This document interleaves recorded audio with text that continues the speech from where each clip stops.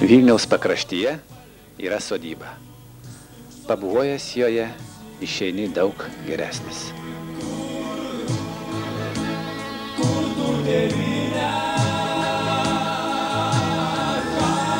Šitie mūsų namai Valakampiuose. Tai yra, atrodo, kaip širdyje išnešiotas kūdikis, kuriuose yra tiek daug, tiek daug meilės, nes tai ateina beglobiai, benamiai vaikai iš šeimų, kur tas vaikas visai nereikalingas. Ir ateina kartais vaikai patys ieškodami prieglapščių, nes jie jau girdė apie šitos namus. Man atrodo, kad Lietuvai reikia kiek galint daugiau namų. Namų, kurie būtų artimi šeimai. Aš džiaugiuosi, kad mane girdi Lietuvoje žmonės ir skambina, turėdami savo idėją. Jie kartu su manim suriša savo mintį ir tą, kas jau yra padaryta čia šituose namuose ir surandamės bendrą kelią, kaip padėti vaikams. Aišku, savame Lietuvoje yra ne vieni namai. Čia Valakampiuose yra Medeikiuose, Biržų rajone. Šį šeštadienį atidarom naujus namus Joniškių rajone. Yra namai Klaipėdoje, Melragėje. Kaune yra dviejai namai. Šitie namai ėjo labai sunku kelią, labai sunkiai skynėsi savo kelią. Bet kai pasižiūri į nueitą, per atstumą į nueitą kelią, matai, kad šitie namai gali padėti labai daug vaikams. Birželio pirmąją dvi mergaitės buvo atvežtos naktį. Viena mergaitė išėjo iš namų ir važiavo autobusu. Važiavo, važiavo visą dieną. Vakarė užsnūdo ir jie pakėlė vairuotojas. Ir vairuotojas paklausė, kodėl jinai. Jis sako, aš neturiu ko valgyti namuose. Ir aš visą dieną važiavau, aš žiūrėjau į žmonės ir galvojau, kad žmonės galbūt kas nors mane pakvies ir pavalgydins. Niekas jos nepakvietė. Policija atvežė man tą mergaitę. Sekančią dieną atvažiavo į ją paėmė. Nors mergaitė sakė, aš daugiau į namus negryšiu, ten geria, mušasi ir labai prašau manęs nepalikti. Ir aš nesutikau, kad mergaitė paimtų. Jinai turėjo likti čia, kol susitvarkys jos gyvenimas, o galbūt ir pasilikti čia. O kitą mergaitę atvežė. Tai buvo pirmą kartą iš 106 vaikų, kuriuos atvežė policija. Mergaitė krepšėje turėjo įsidėjus patalynės. Jos pasakojimu motina išvedė į kelią ir paklaidino. Tai yra vaikas šiais laikais Jinai pasakoja, kad tėvelis policininkas, o mamytė labai skaito šventas knygas. Aš jos dar neradau mamos, bet aš labai norėčiau surasti ir aš tikiuosi surasiu. Ir išaiškės, kodėl tas vaikas paklaidintas. Kaip Aleksandra pasakojo, paklaidinta už miesto kelyje ir paskui jinai ieškojo pati stoties, kaip surasti kitus žmonės, kurie galėtų padėti jai parvažiuoti namo, bet neparvažiavo. Ne, e, šitie vaikai galėtų būti vežami ir į kitus namus. Yra valdiški namai, yra internatai, yra vaikų namai, yra e, SOS Kinderdorf ir ten International, tai yra vaikų kaimai Vilniuje. Tai yra Nuostabu, kad kuriasi tokie namai. Yra šeimynos, kurios glaudžia vaikus. Vienokiu ar kitokiu būdu jiems yra sudaromas normalesnis gyvenimo sąlygos.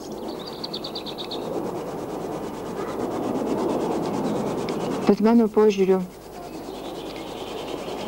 aš kvieščiau daugiau ir daugiau žmonių, kurie galėtų priimti į savo šeimas vaikus. Neįvaikinti, o tiesiog priimti vaikus į šeimą. Geriausia būtų, kad vaikai galėtų išlaikyti savo, savo aš. Aš gimiau, aš turiu vardą, aš turiu pavardę, aš tada gimiau. Štai aš žinau viską apie savo motiną ir tėvą. Nesvarbu, galbūt jinai daugiau, nes, ar jis nebesustiks daugiau su savo motina ir tėvu. Bet jie turi žinoti viską. Mes savo namuose mėginam visą tai rodyti ir pasakoti vaikams, lankyti jų tėvus. Ir aš norėčiau pasakyti, kad mums kartais pasiseka atgauti tėvus. Šiuo metu Dianos ir Gretos mama yra išvažiavusi į kaimą. Jinai ruošiasi atsisakyti.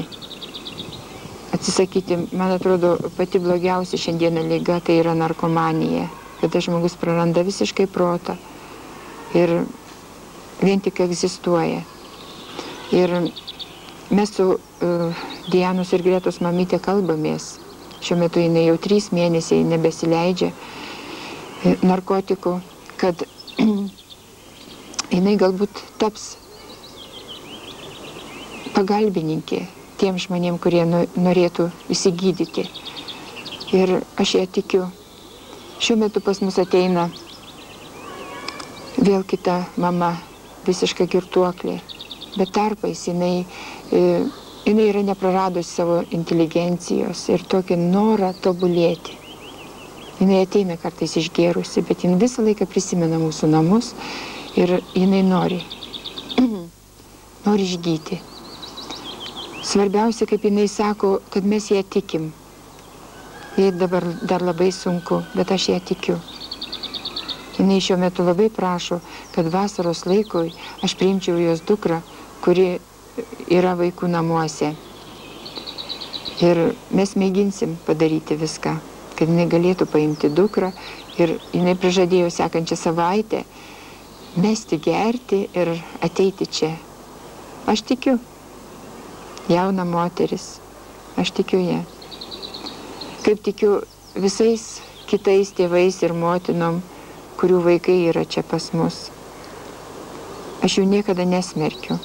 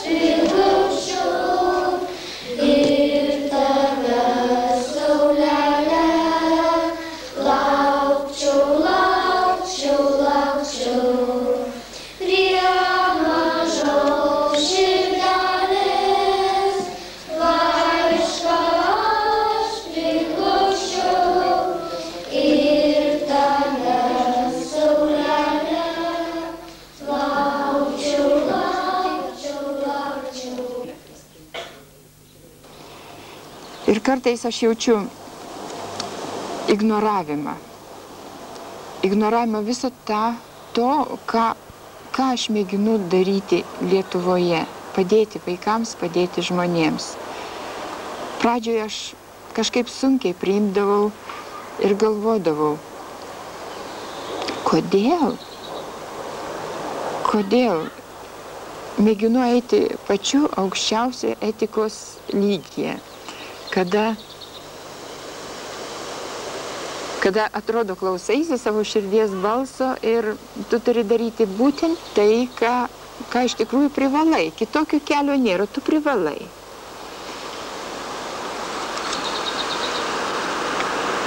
Ir atrodo, turi žinojimą, kad tu neklysti, kad tu turi tą daryti.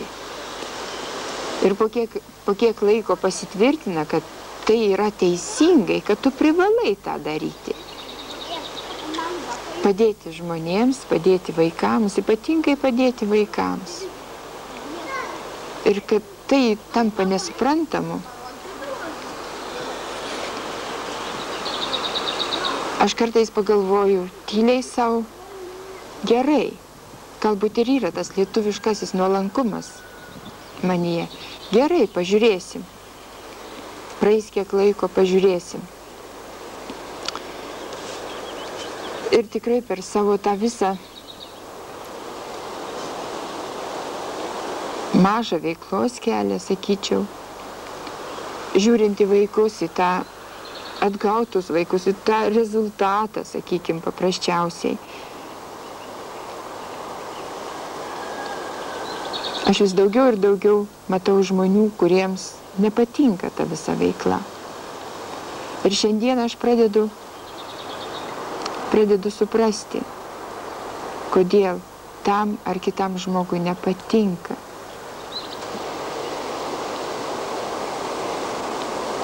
Aš pradedu atrinkti,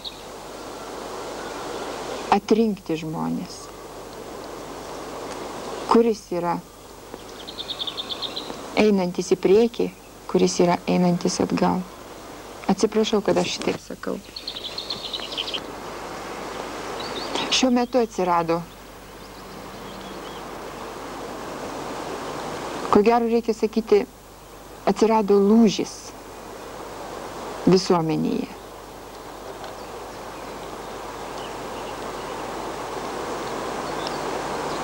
Aš nežinau kodėl,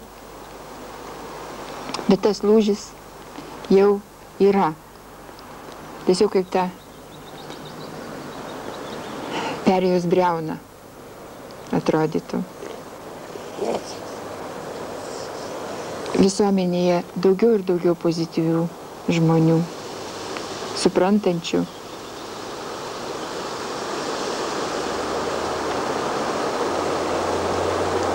Aukos prasme.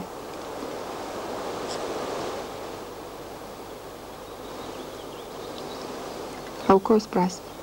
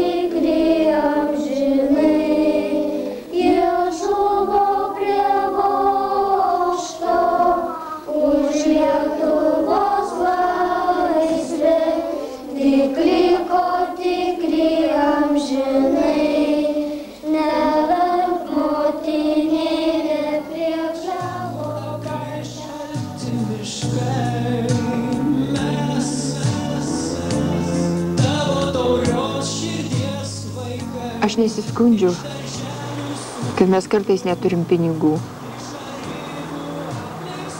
Bet nėra buvę taip, kad mes neturėtumėm visiškai pinigų. Bet pinigų mums reikia labai labai daug. Namas. Namas labai labai senas, išgriuvęs. Aš žinau, kokia apie- padėti šiandieną Lietuvoje. Ir ištiesus ranką ir prašyti, kad jūs duokit ar padėkit, aš nei karto nejau ir neįsiu. Aš kviečiu žmonės, mėginu parodyti tai, ką mes darom ir kviečiu bendradarbiauti. Reikiama yra, kad nėra tų pinigų ir panašiai, bet jūs pamatysit, kiek užteks pinigų rinkimams, kiek jų bus išleista, propagandai ir taip toliau. Pinigų yra Lietuvoje. Jeigu tik sutvarkyti sistemą, jų užtektų visiems. Ir Lietuvoje girdi mane žmonės tie, kurie turi širdį, kurie nori girdėti. Ir ne vienas žmogus padeda. Ir padeda tie, kurie gali šiandien padėti. Bet pagrindinė pagalbos. Pagrindinė pagalba ateina iš užsienio. Ateina iš tų žmonių, kurie vieni per kitus girdi. Štai Lietuvoje yra, yra, yra gerų dalykų. Įvairiausi namai kūrėsi ir panašiai. Ir va vieni iš tokių namų mini mūsų organizacijos kūrimas vaikų sodybas. 85 procentai pagalbos ateina iš kitų šalių. Štai, man atrodo, ir režisierius kalbės apie tą įvykį, kai pas mus atvyko Kinijos atstovai.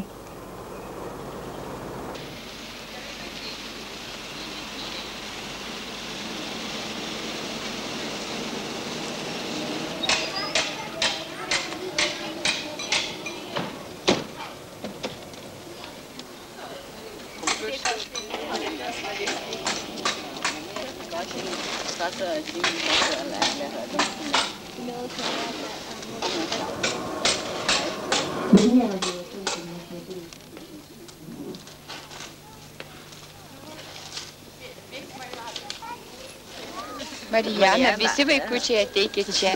Vaikučiai, aš noriu visiems jums pristatyti, aš jums pasakojau, kad bus svečias labai labai tolimo šalies iš Kinijos. 这个这些小孩是几岁到几岁？呃，这 kukerit Mano vaikams, e, mojim dėtėm, e, mojim dėtėm od dvuk let e, do 19, Юлюс. И все эти наши дети. А какой Юстян? Юсатики все. Все. Все. И Вероника Ритя отнес. Ну, no, she's not sleeping. Э, and, э, и самая маленькая Вероника, два годика она... И сегодня у нас 54.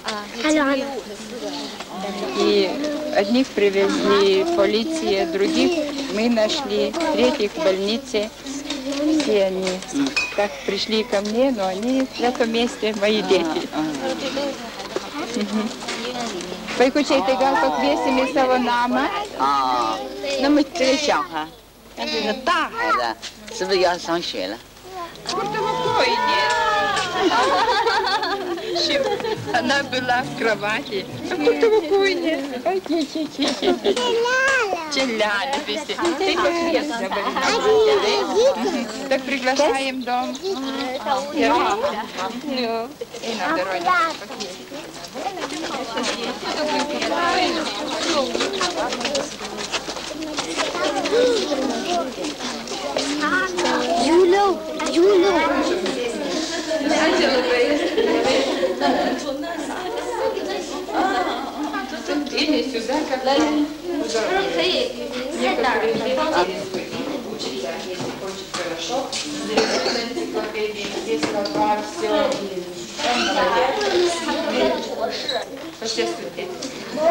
Э, Я хочу представить братьев и сестры.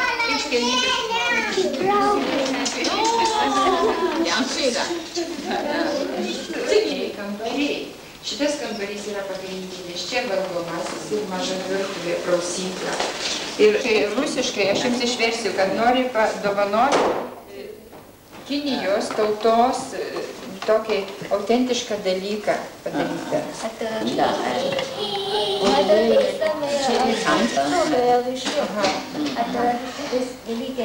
O, čia yra Kinijos didžioji, didžioji siena. Vaikai, aš paskui jums papasakosiu apie... Čia yra Kinijos didžioji siena. 啊，Papasakosiu, taip? Esi. Ačiū labai. Vaikai, o čia yra tūkstantis dolerių, kurių ji pati nori paaukoti šitai sodybai.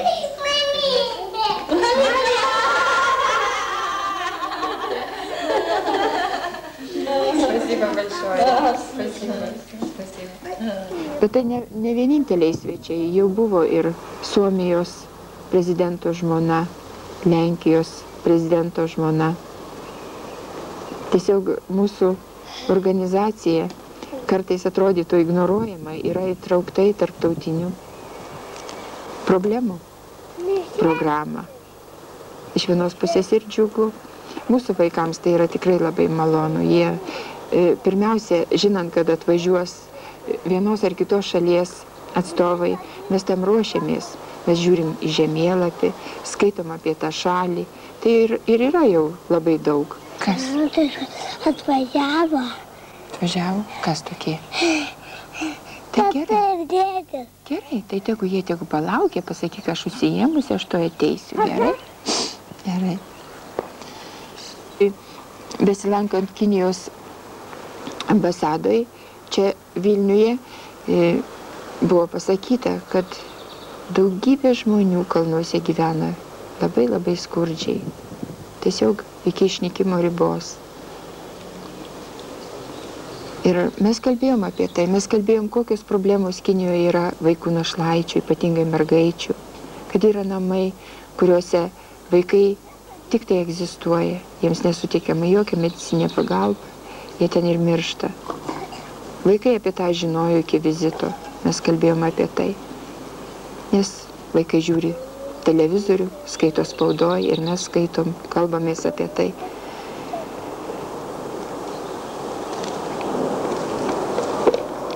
Mes esam dėkingi mūsų žmonėms ir tiem žmonėms iš užsienio, kurie tikrai nepamiršta mūsų namų ir apsilanko, nepamiršta vaikų. Sakom, gal, gal, gal, gal jums praverstų. Paprasčiausiai. Ar jau duoda pieno? Nu, jie Nu, yra metai ir du mėnesiai. Metai ir du mėnesiai. Tai gerai, sutilpo, pas mus sutelpa oškytės. Ir paskui gal galėsim kartais atvažiuoti, aplankyti, Gerai, pabūti. gerai, Tiesa. gerai. Gerai tada. Nu, va, vaikai, oškytę dar vieną gausi, matot? Nu, Mes iš tiesų, pasikalbėjom su vaikais. mhm. pasikalbėjau. Ernesta, padovanosit mums oškytę? Atvažiuosit. Tai gerai. Mhm. Gerai, ačiū labai. Mhm. Paskambink, bet labai trumpai. Mhm. Nu, va, matot. Ir vėl dovanų, oškytę gavom. Sekasi mums. E, ūkis e, būtų jau septynios, bet tris išvežėm į kaimą. Ir kadangi viena oškytė apsirgo, ir e, mūsų oškytės atsiveda į ožiukų. Ir du ožiukai, tai oškytė ir du ožiukus išvežėm į kaimą. Nu va, ūkis mūsų didėja, bet aišku, reiktų statyti ir, ir tvartus normalius, tokius tvartus iš to vasaros namelio vaikai padarė. Ir namą labai norėčiau, vietoj tos palapinės labai norėčiau gerą namą pastatyti, kad tikrai užtektų vietos ir nereikėtų rūpintis, kad stogas įgrius žiemą nuo sniego. Normaliai. Dabar daugybė pinigų reikia remontui. Bet aš galvoju, kaip aš sakiau, esu tikinti. Ir esu tik tai įrankis. Ir ateis laikas ir namas bus. Aš to tikiu. Nes vaikams labai reikia. Čia stūkso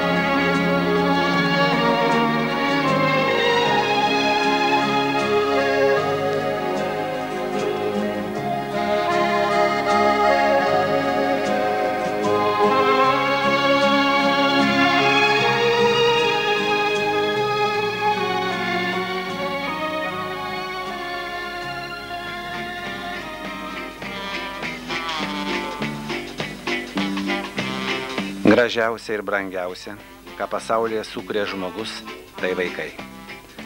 Nepriklausomos organizacijos SOS Kinderdorf International, jos centras yra įnudrukę vėliava, plevesuoja 324 vaikų kaimeliuose daugiau kaip 124 pasaulio šalyse. Kaimuose, kurių idėja, kiekvienas vaikas turi turėti savo šeimą ir namus, gyvena tėvų netekę, benamiai vaikai. SOS kaime, įsikūrusime tarp šeškinės ir višuliškių, stovi 12 mėlynų, raudonų, žalių bei geltonų namų. Kiekviename gyvena po šeimą, kurią auklėje samdoma SOS mama, savo gyvenimą pašventusi jai patikėtiems vaikams, našlaičiams, iš asocialių šeimų pamestinukams. Šeimoje gyvenantis 5-6 vairaus amžiaus vaikai vienas kitą vadina sesėmis ir broliais. Šiuo metu kaimelėje gyvena 59 vaikai. Kaimelį finansuoja SOS Kinderdorf International rėmėjų kontora iš Müncheno. Kiekvienam vaikui dienai skiriama apie 15 litų. Iš 12 kaimo mamų kelios turi pedagoginį išsilavinimą, yra po vieną ekonomistę ir bibliotekininkė. OS kaimo atidarimas Šeškinė yra, yra labai didelė e, šventė Vilniaus miestui, kadangi beglobių vaikų problema pas mus labai didelė. Praeitais metais Vilniaus miesto valdyba oficialiai pripažino netekusius, likusius be globos daugiau negu 300 vaikų. Ir tas skaičius kiekvienais metais didėja. Pastaruoju metu jis padidėjo netgi arti 10 procentų. Ir dėl to e, šitokia pagalba mums labai, labai yra svari, kadangi patys šiandien, kai Lietuvos ekonominė situacija yra gan sudėtinga, mes nepajėgus spręsti šitų klausimų. Ir aišku, labai džiaugiamės ir mums taip pat Vilniaus miesto valdybos nariams, aš manau, tai taip pat didelė šventė ir čia jų nemažai yra dalyvauja atidarime šito kaimelio. Artimiausių laikų taip pat žadame atidaryti laikinos vaikų globos namus. Ir e, čia mums būtina ir Vilniečių parama. Jeigu yra šeimų, kurios sutiktų globoti vaikus namuose, globoti ne visada įvaikinant, tiesiog priimti šeimą sunkių vaikų laikotarpiu. Aš prašyčiau visus kreiptis į Vilniaus miesto valdybą arba e, galima į mane, mano pavardė Gražina Paliokienė, aš Vilniaus miesto valdybos narė atsakinga už socialinius klausimus. Ir mano telefonas yra 22540 317 kabinetas. Čia būtų tikrai didelė parama. Kadangi mes ruošiamės, šitas kaimas priims vaikų daug ir, ir padės, bet tai neišspręs problemos, kadangi Jūs matote pilną vaikų elgetaujančių, gyvenančių šiukšlynuose, vaikų paliktų be priežiūros, vaikų neturinčių tėvų. E, Taigi, jeigu yra Vilniečių norinčių padėti spręsti šitos klausimus, labai prašome. Koks būtų jūsų požiūris į kitas vaikų globos formas egzistuojančias Lietuvoje? E, Aš manau, kad e, man pačiai asmeniškai ta se- senoji vaikų namų sistema yra labai nepriimtina. E, Gerai, ten, ten vaikai, tegul jie gauna tą savo saldžią bulkutę, tačiau už grotų. Jiems jie su, sukanka tam tikras skaičius metų, jie tampa pilnamečiais ir jie išleidžiami į gyvenimą, atidaromi vartai, jie gauna savo sausą davinį ir išvaromi į gyvenimą, kurio jie visiškai nepažįsta prie kurio negali prisitaikyti, kuriame jam nepaprastai sunku ir jų niekas ten nelaukia. Aš manau, kad šeimų formavimas yra naujas dalykas ir perspektyvus.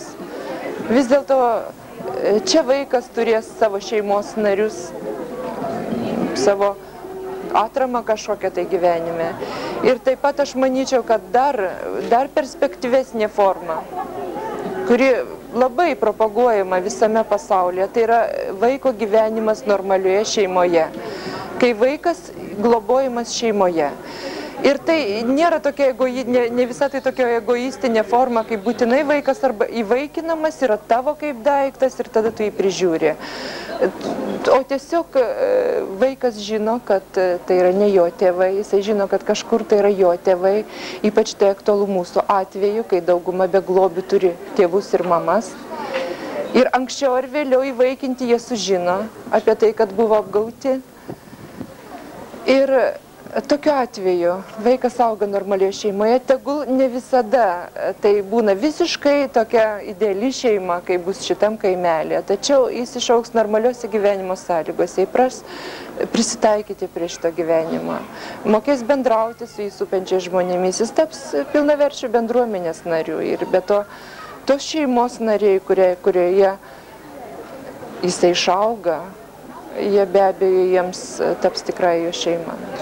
Kaip Jūs vertinate ponios Elenos Kubilienės vadovaujamą agentūrą visos Lietuvos vaikai?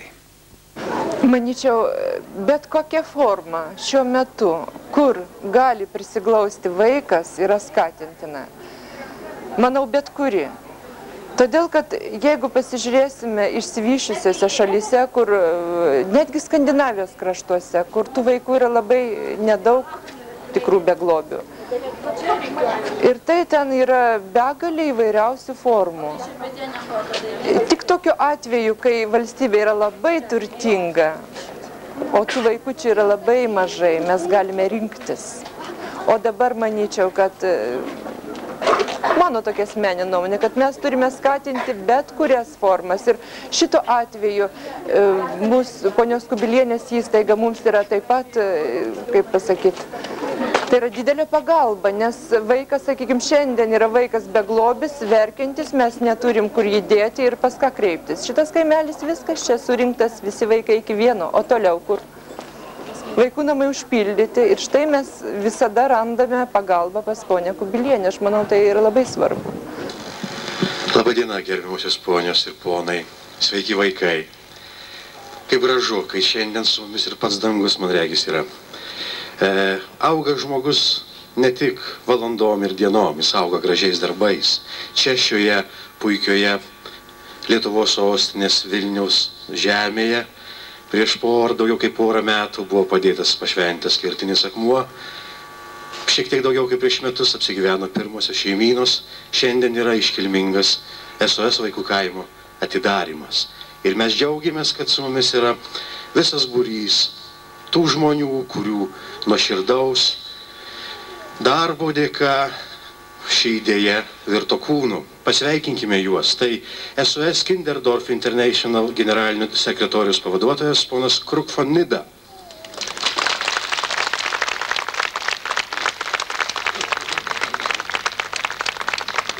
SOS vaikų kaimo draugijos Vokietijoje direktorius daktaras Günteris Kalteis.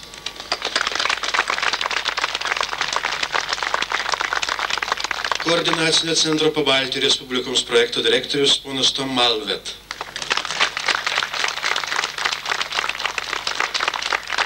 SOS vaikų kaimų draugijos Lietuvoje pirmininkė daktarė docentė ponė Marija Barkauskaitė. Kaimo architektas ponas Uve Prudik.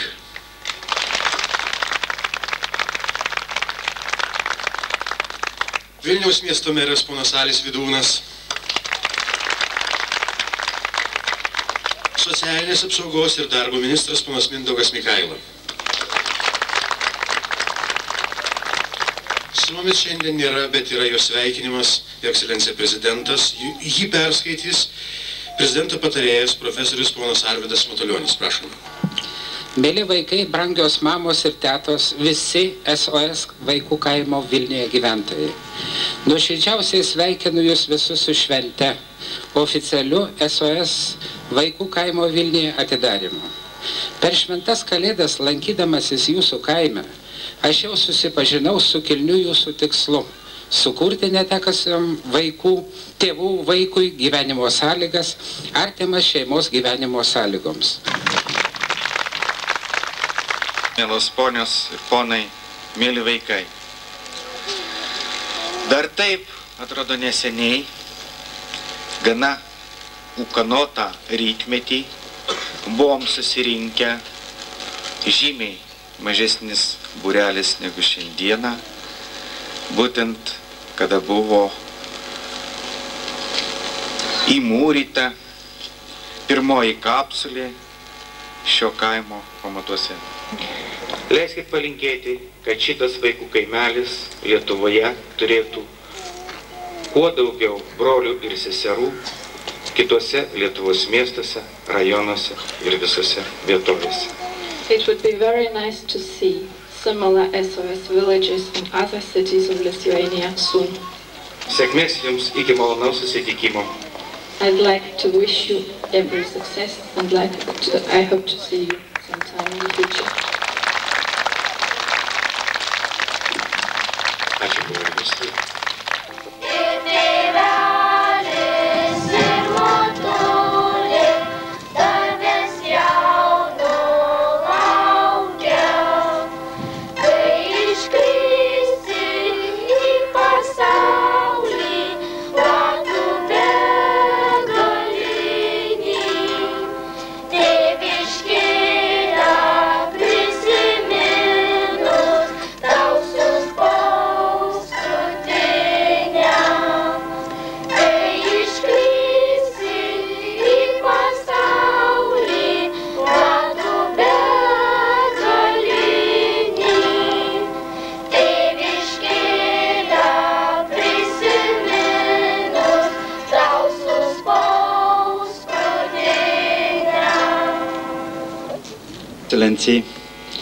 Gerbiamas Vilniaus merė, uh, ponai ekscelencijos iš Vokietijos ir Suomijos ambasadų, mūsų draugai iš Suomijos, Estijos ir būsimo SOS vaikų kaimo Latvijoje. Dėkoju Jums, kad atvykote į mūsų šventę Vilniuje. Milijonai žmonių visoje Vokietijoje aukojo pinigus šiam kilniam tikslui pastatyti pirmąjį vaikų globos kaimą Lietuvoje. Šiandien tai įvyko, kaimas yra. Ir jūs esate jo svečiai.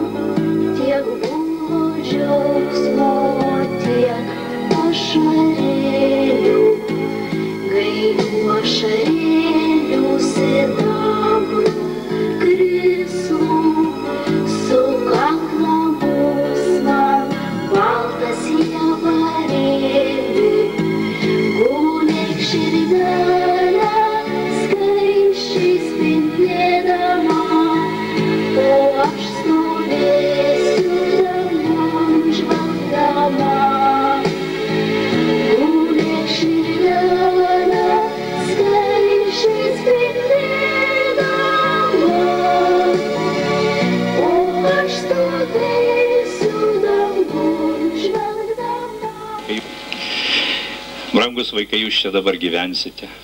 Jūs turėsite ir kursite šeimas, jūs turėsite vaikus, jūs patirsite tą jausmą ir aš galvoju, kad ir jūs labai mylėsite, labai norėsite, kad jūsų vaikai būtų labai laimingi. Aš to jums labai linkiu ir mes šiandien matome, kaip šis džiaugsmo, vaikų džiaugsmo mažas spindulėlis šviečia šioje vietoje. Šioje vietoje tų žmonių, kuriems aš noriu padėkoti dėka. Didelis ačiū tarptautiniai organizacijai Kinder fondui SOS vaikai. Labai didelis, didelis ačiū visiems Vokietijoje gyvenantiems žmonėms, kurie galėjo padėti ir paukoti. Be pinigučių šitas nebūtų pasistatę. Ir labai didelis, didelis ačiū Suomių firmoms ir organizacijoms Suomiams, kurie pastatė šį gražų pasakišką vaikų kaimelį.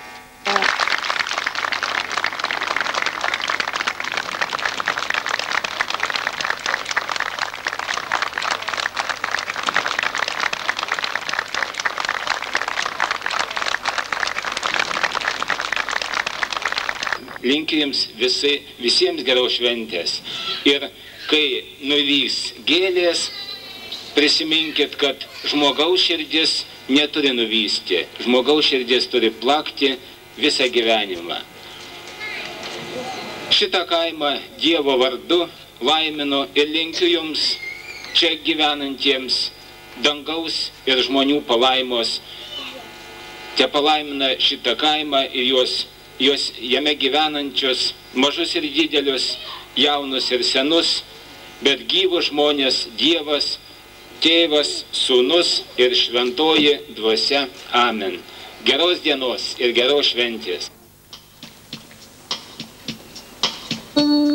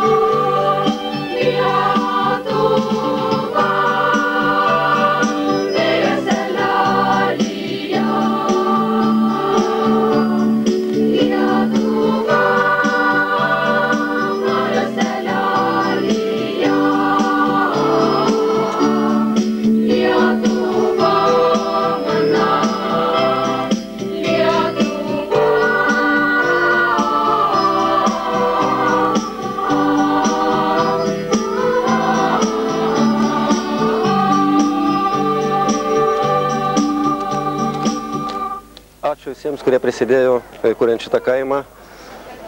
E, Manau, kad čia laimingai vaikai užauks ir tegu lydi juos ir su jais visus dirbančius sėkmė. Ir tegu jie išmoksta pagalbos, paramos visiems aplink esantiems. Ir te laimina Dievas ir te padeda jiems visi geros valios žmonės.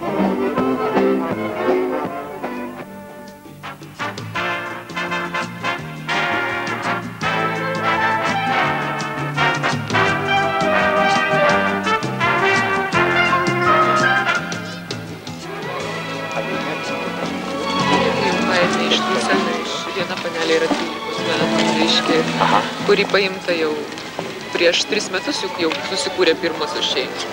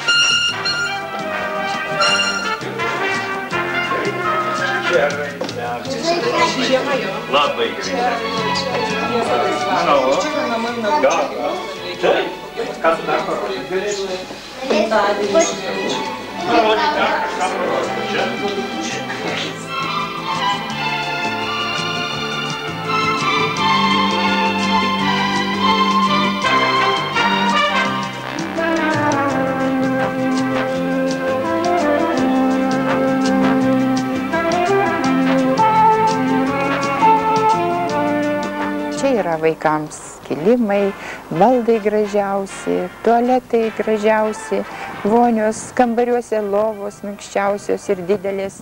Viskas pritaikyta vaikams ir labai labai turtingai gyventi ateityje. Duok Dieve jiems dvasinio turtingumo, kad to turėtų motinos, kad turėtų tas aptarnaujantis visas personalas kad galbūt ir tos motinos nejaustų tokio spaudimo, daugiau jos turėtų laisvės auklėjant šitos vaikelius. Ir manau, nors dalelė Lietuvos eis ger, gerų keliu. Su tais vaikais reikia kurti, reikia kartu kurti gyvenimą. Kartu su jais reikia statyti, kad jie nelaužytų, nedaužytų, neplėšytų. Su jais reikia kartu siūti, kartu daržą ravėti, viską, viską reikia kartu dirbti. Ir man viena mama sakė, kad pasėmė vaikus iš valdiškų namų ir kaip yra jie sunkus. Ir aš žinau, kad į šitos namus, ko gero, reikia priimti visai mažus vaikus ir tiesiai iš šeimų. Tada ir jiems patiems būtų lengviau aukti ir auklėti juos. O mano mąstymu, Lietuvai reikia ir šitokių namų, o ko gero svarbiausia, reikia iškentėtų namų. Kad vaikai atėję iš tokių siaubingų savo gyvenimo aplinkų, aplinkos galėtų palengva kurti, ką mes ir darom Lietuvoje. Ir aš džiaugiuosi, kad daugiau ir daugiau atsiranda žmonių, kurie eina ne į lengvą gyvenimą, kada viskas yra jau vėl paduota, o eina tuo keliu kūrimosi keliu. Nors jiems nėra lengva.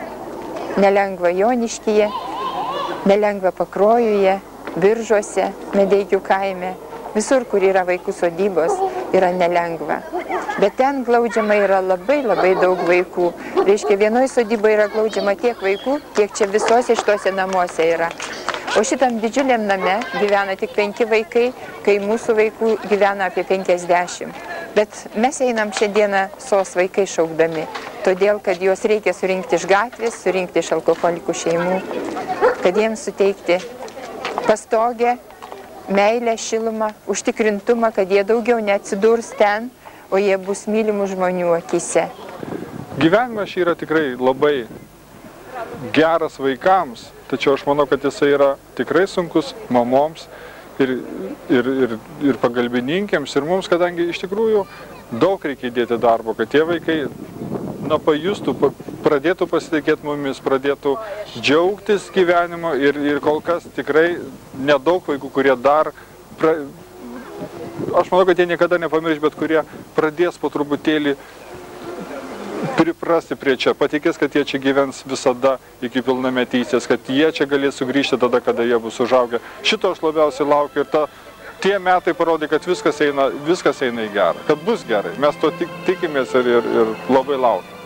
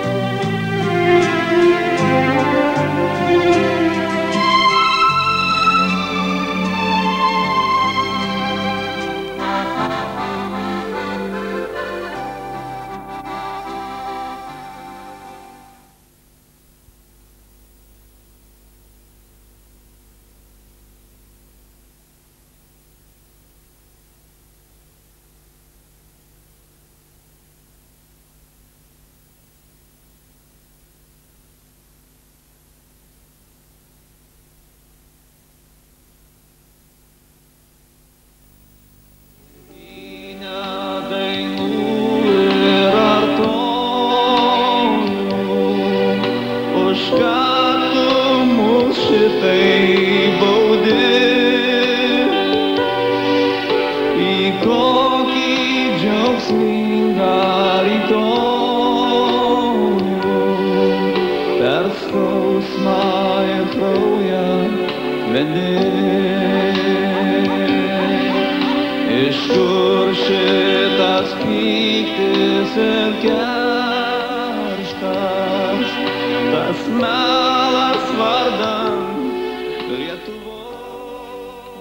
Atrodo, ateina metas Lietuvoje, kada reikia pradėti kalbėti apie dvasinius dalykus.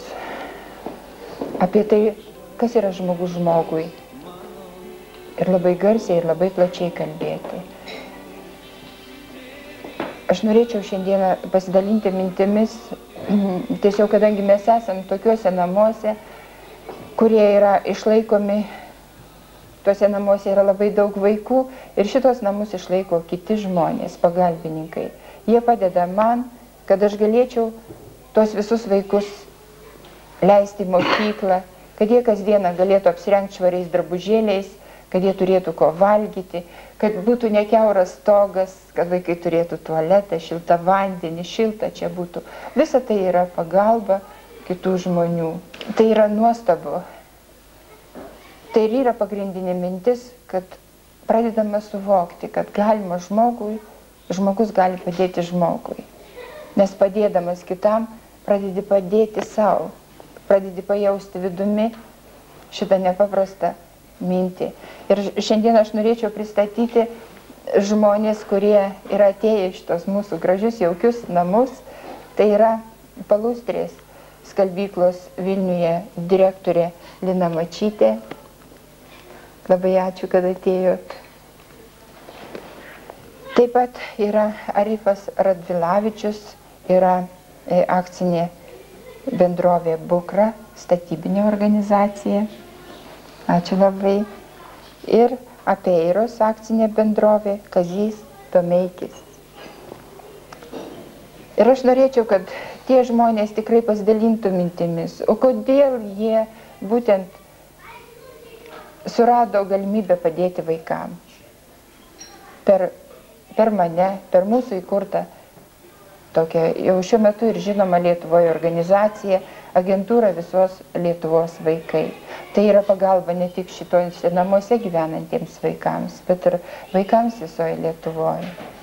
Bet turbūt tokia Dievo valia, aš pasakyčiau. Aš čia atvažiavau, jau dabar net neprisimenu kada. Garbė Prieš du žodis. metus. Prieš du metus tiesiog, nu kaip. Turbūt likimas atvedė mane čia. Taip. Nu ir per pirmą pokalbį, ne?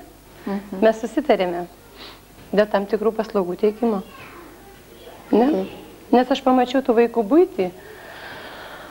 Čia toj turbūt vasarvietėje, ne? Aš pamačiau, kiek ten iškalbta tų rubelių. Ir aš paklausiu, kas tai daro? A ne? Ir jūs atsakėte, kad tai tos mažus, mažus rankos. Kad jie patys ir mes suaugę šalia. Na ir drįsau pasiūlyti. Tai galbūt dėl to mes čia. Nu, pagal Bibliją kaip yra pasakyta, kad žmogus turi mylėti save ir artimą, ar ne? Ir širdies vienas kitam turi padėti. Ir, ir, ir norėti padėti, galbūt neprivalo, bet nori padėti. Aš manau, kad toks požiūris, tik tokiu požiūriu yra labdara tikra. O visa kita, kas ten, bet aš nenoriu apie tai kalbėti, nes kaip yra Lietuvoje daroma su labdara. Ar įdomu čia sakyti apie tai? Nes aš susidūriau visų šventųjų bažnyčioje, gi dabar yra irgi kunigas atidarė labdaros valgyklą.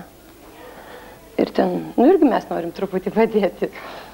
Tai jisai pradėjo nuo tokių dėrybų, nuo ko aš nebežinojau pasakoti apie tai. Jisai sako, jeigu jums reikia dokumentų tam tikrai sumai, tai aš pasirašysiu. O, o jūs duosite tiek, kiek galite. Tai man nepriimtina tokia labdara. Aš jam pasakau, mums šito nereikia. Mes tai darome iš širdies, jeigu galime. Tai tokia labdara yra netikra. Čia yra jau sandėris. Ir man tai nepriimtina. Žmogaus asmeninis požiūris, kad jis gali aukotis, tai, tai yra labai labai daug. Vat, e, kokios trys dienos mūsų namus pradėjo ateiti viena vienuolė, kuri, kuriai sakėm, mes galėtum kažkiek jums prisidėti, paukoti, jeigu nesutinkat atlyginimo, nesakė. E, aš noriu ateiti ir padėti. Ir visa kongregacija taip nutarė, kad pati jauniausia vienuolė ateis ir padės. Ir būtent tokių žmonių darbas, kuris yra, mm, yra darbas auka, jis yra neįkainuojamas. Ir, ir štai e, palustrės skalbyklų žmonių darbo aš tikrai negalėčiau įkainuoti, nors kiekvieną savaitę ryšuliai rūbų yra paimami ir ryšuliai rūbų yra sugražinami. Jie yra visi išbalinti, išlyginti, kaip šita stalteisė. Ir, ir vaikų džinsai išskalbti. Tai mums buvo labai labai daug. Nes tikrai mes plaudavom patys su vaikais, šepetukais. Ir, ir jeigu aš pagalvoju, kiek kainuoja šiuo metu, kad nupirkti, ir mes irgi skalbėm savo skalbimo mašiną, nes vaikų daug ir mažų yra, kūdikiai, kiek reikia skalbimo priemonėm pinigų. Ir tai yra būtent šitos uždaros akcinės bendrovės visų darbuotojų indėlis. Ir mes esam labai labai dėkingi. Nuo pat sąjūdžio laikų aš pradėjau šitą darbą ir aš jo nekeičiau. Ir man atrodo, jeigu žmonės turi širdį ir jie mato, kaip tą Lietuvą pakelti, jie nesimėto. Jie eina to keliu, jeigu jis vaistininkas, jis vaistininkas. Jeigu jis gydytojas, jis eina žiūrėti, kaip jis gydytojai būdamas gali padėti tam žmogui. Štai vakar man reikėjo paguldyti jauną žmogų, kuris visiškai baigtas, temperatūra aukščiausia. Jisai benamis, valkata. O kodėl jis valkata? Todėl, kai jis augo kūdikių namuose pagalbiniai mokykloje, baigė aštuonias klasės ir jis išėjo į gatvę. Jisai užsidirba savartinę dirbdamas ir taip toliau. Bet, bet aš skambinau, skambinau, skambinau į ligoninės ir man nepriemė to jauno žmogaus. Ir tada paskambinau į greitai pagalbą. Tai yra valstybės požiūris, aš noriu pasakyti. Ir greitoji pagalboje pirmą kartą man pasakė, ačiū Elena Kubilienė, kad jūs rūpinatės vaikais, tikrai mes atvažiuosim. Aš buvau labai giliai nustebint man. Iš tiesų, jūs man sakėt, kad aš tik neapsiverkčiau. Šiandien aš nenoriu verkti, aš noriu sakyti labai griežtai, kad požiūris į žmogų turi keistis. Mes turim pradėti padėti vieni kitiems ir svarbiausia nuo valstybės pareigūnų. Jeigu aš nueinu į, sakykime, į savivaldybę, mane taip pat siunčia iš kabineto į kabinetą. Jeigu Mes turim vieną skaudų klausimą dėl šitų patalpų. Ir mūsų dokumentai yra išsiusti vyriausybei. Aš einu iš kabineto į kabinetą. Niekaip negali pakelti klausimo ir pateikti vyriausybei svarstyti, kad vieną kartą būtų žinoma, ar mes galim gyventi normaliai, ramiai, remontuoti šitos namus ir gyventi su vaikais. Aš kartais žmonėm negaliu pasakyti realiai, kad jūs padedat, kad rytoj mūsų šitų namų neiškels, nes labai daug susidomėjusių žmonių ateina iš tas patalpas ir domisi, o kokia priklausomybė, o kas čia gyvena, o kas čia anksčiau gyveno ir, ir ko toliau to mums darosi neramiau, todėl kad daug kas susidomėję yra šitom patalpom. Taigi vaikai yra e, tautos žiedas. Mesgi prieš šešis metus čia visi riekom, norim valstybės, atskirai viską. Kokią mes dabar tą valstybę darom? Taigi be žiedo nebus vaisiaus. Be žievės irgi medis neauks. Kas seneliai, pensininkai visi. Taigi to medžio žievė. O žiedas tai vaikai. Ir kokie bus žiedai, toks ir vaisiaus bus. Jeigu nebus žiedų, nebus vaisiaus. O mūsų valdžios vyrai šaknis, tai nelabai eina suprasti, ką jūs ten veikia ir gal jie pasiskaitė tarybinę didžiąją enciklopediją, pasiskaitė tą žodį labdara, ką reiškia, ten yra parašyta, kad labdara yra kapitalistų prigalvotas išmislas, kaip slėpti mokesčius nuo valstybės, gal jie šito vadovaujasi, priimdami šitos įstatymus ir nepadėdami. Taigi viskas žiedomaidim suprasidėti nuo pat šaknies, nuo šaknų. Ir vis tiek bėdna ta valstybė, viskas neišeina kažkas. Tai. Bent kažką tai galėtų. Kiek yra pastatų, stovi visur, reiškia, miestus ar kur. Duokit. Duokit, kas turi daug vaikų, turi žmogus dešimt vaikų, negali susimokėti iš būto, duok neimk mokesčių. Jis neturi, neturi pinigų, gal būtui nusipirkti, susimokėti viską, bet jis su vaikais, su šeima gal pasidarys, pasiremontuos tą namą, galės gyventi. Nereikės jam eiti į gatvę, išmaldos prašyti, arba prašyti, kad ką nors priimk mane pagyventi, permėgoti, ar dar ką nors, ar į kanalizaciją kažkur tai lysti. Ir, pavyzdžiui, kaip aš žinau, kažkas yra iš Vokietijos atvažiavęs žmogus čia firma viską prekiauja tais tokiais produktais, kur vaikam tinka. Gal mėnesį laiko iš paskui aš jam lakščiau, aš negaliu ten kažko tai daug padėti, kiek išėjo ten padėjau, bet mėnesį laiko lakščiau iš paskos, duok, reikia čia, tą reikia, tą reikia, tą reikia. Nu ir sutarėm, dabar duoda ir šiandien dar skambinau, sakė, ir dar duos daug, tik tai tu jau manęs nepersekiok. Nes tikrai yra ir daug, aš manau, kad daug tokių yra žmonių, kurie tikrai galėtų kažko tai padėti. Kai kurie žmonės šiandien neturi iš kur laukti pagalbos. Kai kurie žmonės laukia jos tik tai iš valdžios, tik tai iš tų žmonių, kurie valdo ekonominį gyvenimą, kurie valdo šalį. Todėl prispaudimas tų žmonių, kuris šiandien tikrai vyksta, nes kadangi įstatymai labdaros yra antiek netobuli, įstatymai, kurie norint padėti reikia dar atsiklausti, dar reikia paruošti, reiškia, biznio planą, dar reikia kažko tai kažkur tai klausti, prašyti, kad galima būti duoti, na, tai yra tikrai absurdiška ir, ir daugeliu nesupranta. Man atrodo, kad mūsų valstybės didėjai žmonės užimti kitais reikalais. Tik nepiliečiais. Tik nepiliečiais Lietuvos. Žmonėmis, vaikais ypatingai, nu, aš nebežinau. Aš nebežinau, kurioje pasaulio šalyje tiek yra vidaujančių, tiek nuskriaustų vaikų. Aš net nežinau, gal Afrikoje taip ar ne yra. Aš jau daug kur važiuoju, aš taip nemačiau. Ir aš, nu, kaip aš jau gyvenu, keturi, ket, ketvirtas dešimtmetis šioje žemėje, ne? Aš mačiau, kaip buvo netgi tais kitais laikais, kurių nenorim prisiminti. Vis tiek visi vaikai galėjo eiti į mokyklą. Dabar jau yra taip, kad ne visi gali eiti į mokyklą, ar ne? Ypatingai kaime. Valstybė negali išlaikyti, negali pilnai aprūpinti vaikus, negali padėti tiem žmonėm, kurie 30-40 metų šitoje valstybei dirbo. Ir šiandien liko jie visiškai niekieno neaprūpinti, niekam, ne, niekas jiems nepadeda, jie negali užsimokėti už šilumą, jie negali maistą nusipirkti, negali apsirengti skyrus, tik tai vėlgi iš tų rūbų, kurias duoda labdarai kažkas tai iš kažkur tai. Ir mano nuostata yra labai aiškiai rimta, aš negaliu padėti grožio konkursų rengėjams, aš nenoriu padėti sportininkams, kurie gali užsidirbti, eidami į statybas arba tiesdami kelius ir panašiai, nes jie tikrai gali užsidirbti savo kas protų, kas savo fizinė jėga.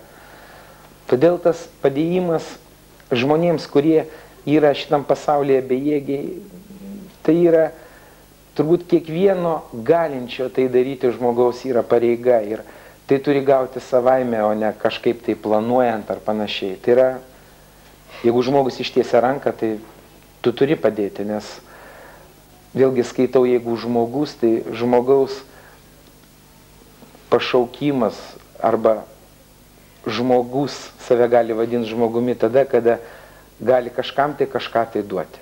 Nes vien tik imti, tai jau tai yra, na tarkim, tada jau, jau tai yra jau ne žmogus, tai yra jau,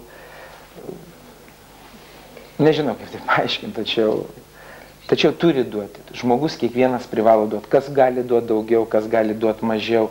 Čia kiekvienas, kiekvienam pareina tas pagal galimybės, kas gali atiduoti savo laiką, kas gali atiduoti savo uždirbtas lėšas, kas gali atiduoti savo protą ir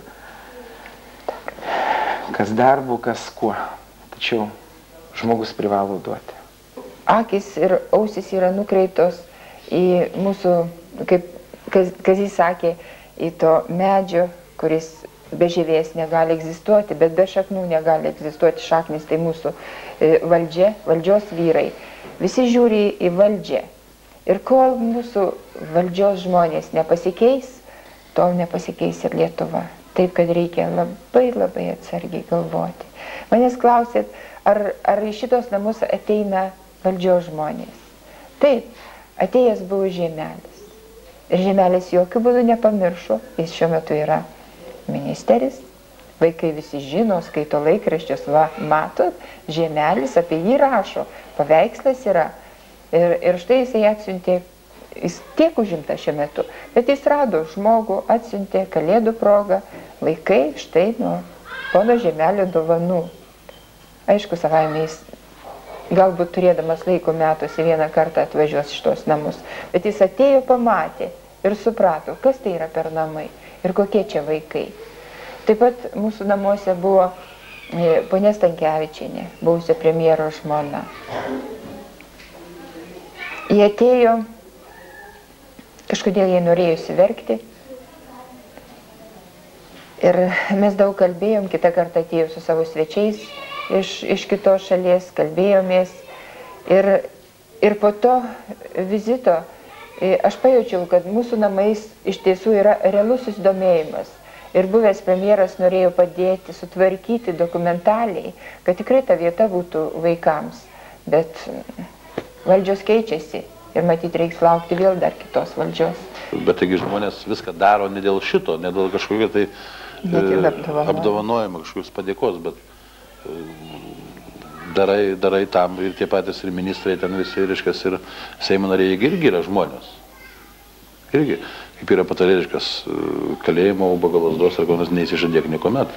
Gali ateiti paskui pasikeisti taip laikai susiklausi, kad dabar sėdintis deputatas Seime, kada jis bus pensijoje, kad, kad jis pats gal su ištiesta ranka sėdės kur prie parduotuvės ir prašys.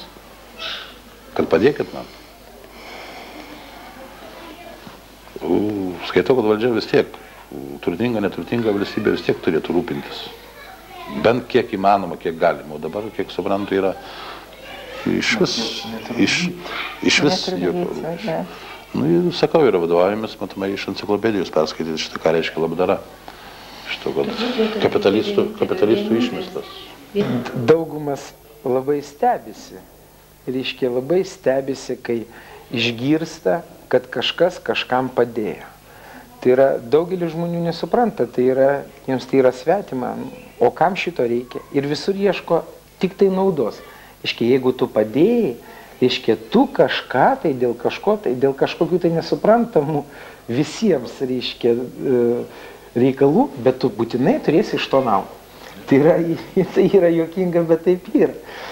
Ir e,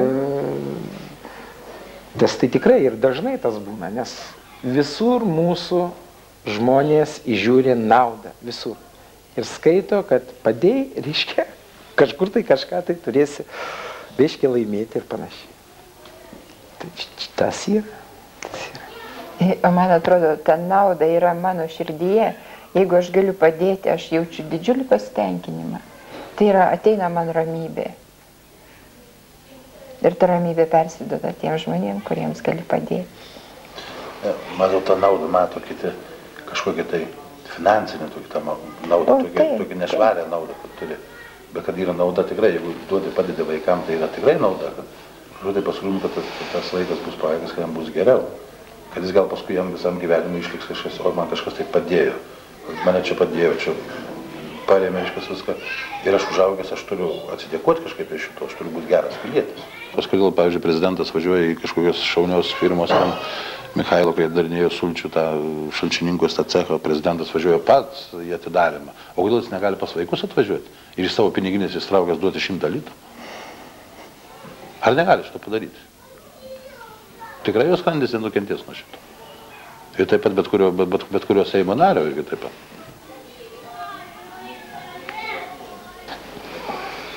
O kas kiek paukojo iš valdžios žmonių, pir, pirmoji buvo Prunskienė, tai buvo labai senai, kada jinai buvo viena iš valdžios, didelių žmonių. Ir jinai išgirdusi, kad Kubilienė su savo bendraminčiais eis lankyti kalėjime vaikų, jinai tikrai suorganizavo ir nemažą dėžę atnešė pagalbos vaikams. O kitas buvo Sakalas, kuris paukojo viešpatį, nu, pasakyk, 15 rublių. Aš neatsimenu, rubliais tada dar buvo. Tai buvo, bet jis buvo vienas iš pirmųjų irgi. Negalime sakyti, kad tai buvo neširdingas ne, ne Reikės svečių knygą. Ne, ne, mes turim svečių knygą, kurioje yra e, iš tiesų susidomėjimas, yra daugiau, e, yra užsieniečių, bet ne, ne lietuvaičių. Sakykime, kiek aš kviečiu savivaldybės, merai keičiasi, kiek aš merų kviečiau, ateikit, pažiūrėkit. Nu vienas dalykas klausytis iš kažkurių tai palubių, kas ten yra e, tos kubilienės namuose ir panašiai. E, tai yra vienas, bet kai ateini, pabūni ir, ir visai kas kita. Tiesa, socialinės e, centro direktorė, e, ponė Čiapienaitė, mus gana dažnai aplanko. Ir jinai realiai nuostatą turi, kas tai yra per namai. O daugiau, daugiau mes kviečiam ateiti. Amerikoje yra tokia Lietuvos dukterų e, organizacija, Lietuvos dukteris. Ir e, amerikietės moteris, jos lietuvaitės apsilankė e, šituose namuose ir būtent viena ponia Kairienė, jos sunus yra miręs jaunas ir jinai ieškojo Lietuvoje, kur galėtų įamžinti savo sunaus vardą. Jai labai patiko mūsų namai ir ponia Kairienė prašė mūsų, ar galėtų jinai aukoti šitiem namams remontui pinigus, kad galėtų įamžinti sunaus vardą. Taip, ir mes tikrai surašėm bendradarbiavimo sutartį ir apsprendėm, kad Eimučio vardas šitoj sodyboj bus minimas vienas iš pagrindinių pagalbininkų. Eimučio vardas. Taip pat jungtinių tautų e, organizacija padėjo šildymo sistemai pinigais. Ir yra vaikų misija Vokietijoje.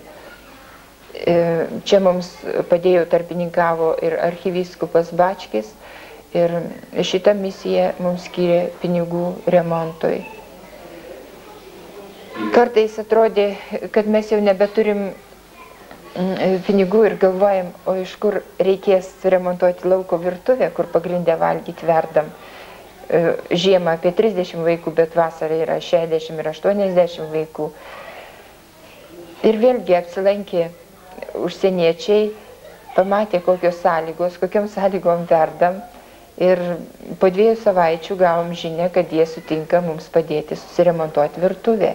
Tai buvo Amerikos karitas. Ir taip, kad jeigu žiūrėti, labai daug padėjo organizacija Vaikai Lietuvoje, Kinder in Litauen, Vokietijoje. Arnoldas yra prezidentas šitos organizacijos. Taip pat mums padėjo iš Danijos organizacija Pagalba rytams, ponė Haindorf, Anmetė, prezidentė. Ir aš esu labai laiminga, kad kartais mūsų namus aplanko būtent mūsų Lietuvos valdžios atstovų dėmesiu. Tai apsilankė buvo kiniečių delegacija, Lenkijos prezidento žmona. Ir taip ateina kartais ir daugiau žmonių, kurie sako, taip, mes apie jūs girdėjom, norim pamatyti. Ir jie, žiūrėkit, po kiek laiko atsiunčia taip pat pagalbą. Bet tai yra daugiau per privačius asmenys. Taip pat turbūt neįkainuojama yra pagalba užsienio studentų, kurie atvažiuoja praktikai. Ir jeigu jie atvažiavo vieną kartą, tai nėra paskutinį kartą, jie atvažiuoja ir atsiunčia taip pat savo draugus. Iš Lietuvos studentų mes nesulaukiam. Jie ieško galimybės išvažiuoti į užsienį. Savotiškai paradoksalu, žmonės iš užsienio važiuoja čia, kad pasisemti kažkokios stiprybės, ramybės ir sužinoti, kaip čia tas žmogiškoji ta pusė. Mūsų lietuvaičiai, jie privengia darbo. Nes čia yra namai, kuriuose suaugusių beveik nėra. Ir jeigu ateini, tu ateini čia gyventi. Ir matyti, už tai tie namai yra tokie jaukus ir šilti, kad žmogų tiesiog veikia ta vidinė nuostata jo keičiasi. Ir, ir tas laukas yra švarus matyti. Ar ne taip? Kad atėjus kažkaip ir širdis suvirpa, ir matant tuos vaikus besidžiaugiančius ir kaip, kaip anksčiau, kad sakydavo, laimingi sotus ir pavalgę ir šiltai aprengti, iš tiesų mūsų vaikai yra laimingi. Aš jaučiu tą laimę, kada grįžti iš, iš centro, grįžti kažkur tai važiavau padėti kitiems e, ar į kitą miestą, kur yra mūsų filialai. Grįžti vaikai pasilgė, mamytė, mamytė šaukė, teta Elena apsikabinė, pasakoja savo bėdas, savo džiaugsmus. Tai ir yra didžiausia man laimė ir didžiausias atpildas. Man apdovanojimų nereikia. Mano didžiausias atpildas šitie vaikai. Ir aš žinau, kokiais keliais jie nueis, bet jie visada prisimins šitos namus, šitos žmonės šalia jų buvusius. Bus taip. Bet tai bus tikrieji Lietuvos žmonės, kurie, man atrodo, neįs melo keliu, nes čia jie išmoksta teisybės. O vaikams reikia pavyzdžių. Tas pavyzdys yra.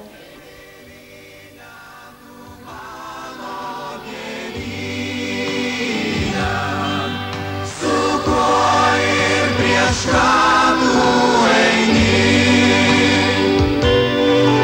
Kodėl tu draskai man krūtinę? Ir ko